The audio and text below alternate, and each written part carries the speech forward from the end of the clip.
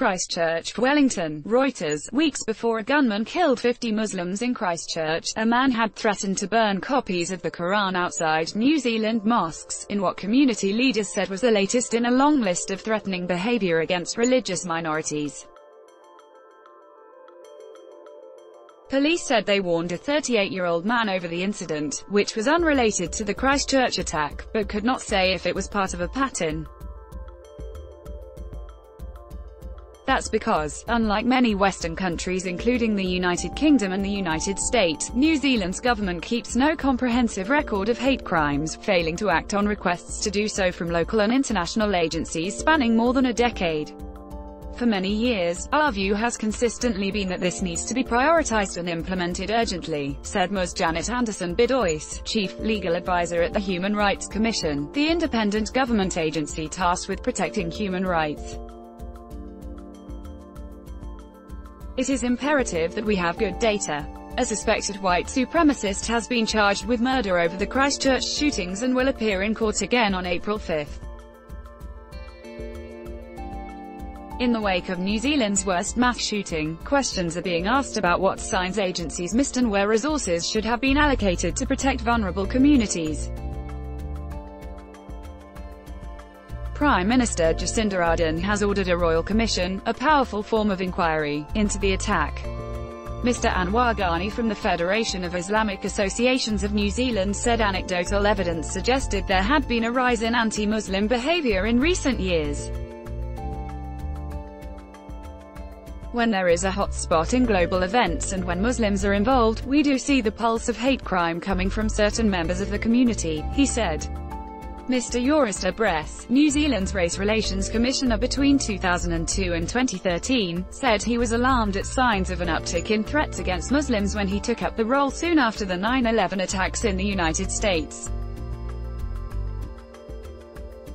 Mr. de said he repeatedly asked the government and police to create a central system for recording details about crimes motivated by hatred and racism.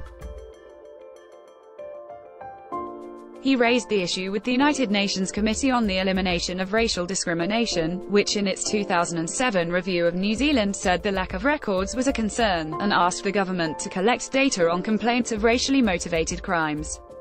I listed it every year. I wrote at various points to government about it and it was simply said that it wasn't necessary and it wasn't a priority. Mr. de Bres said. In its latest report on New Zealand in 2017, the UN Committee repeated its concerns and requests and asked the government to provide the data for its next report as a priority. When current Justice and Intelligence Services Minister Andrew Little took office in late 2017, the Human Rights Commission said in their incoming briefing that the country needed a central system for recording details about crimes motivated by hatred and racism and steps currently taken by police were insufficient. Understanding the scale, extent, and location of hate crimes is essential and is a prerequisite to ensuring adequate resources are available to address the issue, the briefing said. Mr. Little did not respond to Reuters' request for comment but told local media on Saturday, March 30, that current hate speech laws were inadequate and he would work with officials to review the legislation, including, considering whether a separate hate crime offense should be created. Police said they took hate crimes seriously and were continually looking to improve the way they worked. We are engaged in ongoing conversations with community leaders and representatives about a range of issues, including how police record allegations of hate crime and crimes of prejudice, said a police spokesman. The National Party, in power from 2008 to 2017, said while in government, it introduced legislation to protect people from harmful communication online. There are hate speech laws in the Human Rights Act, but whether data should be collected is an operational matter for police, a spokesman said. New Zealand has had no previous extremist mass attacks, unlike neighbouring Australia, but civil society members say an underbelly of racism has always existed and may have been escalating. Ms. Anjum Rahman from the Islamic Women's Council of New Zealand said the group had repeatedly alerted the government over the past five years about the rise of the extreme right and the growing threat Muslim women felt in New Zealand. Without the data, without the measurement it's really hard to push for change. I feel like it wasn't taken seriously because it wasn't hard data because we didn't have it, she said, adding that she felt a resistance to creating that data.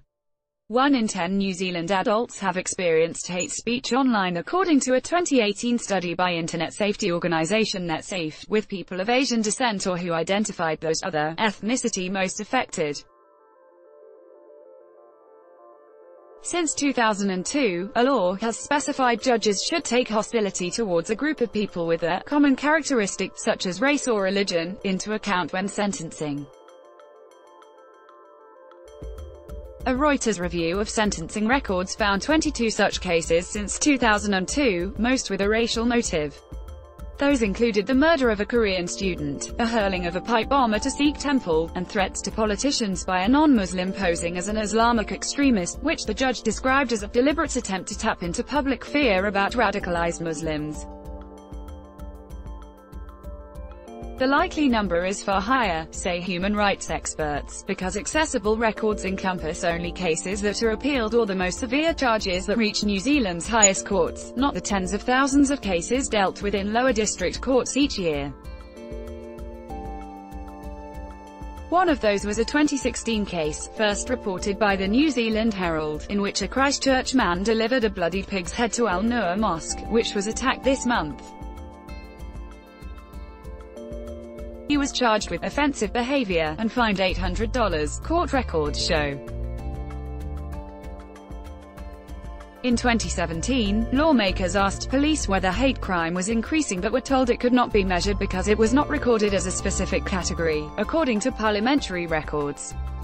The Human Rights Commission said it received 417 complaints relating to race in 2018, up from 350 in 2014. Those included 63 complaints of racial disharmony, which includes hate speech, a 26% jump from four years earlier.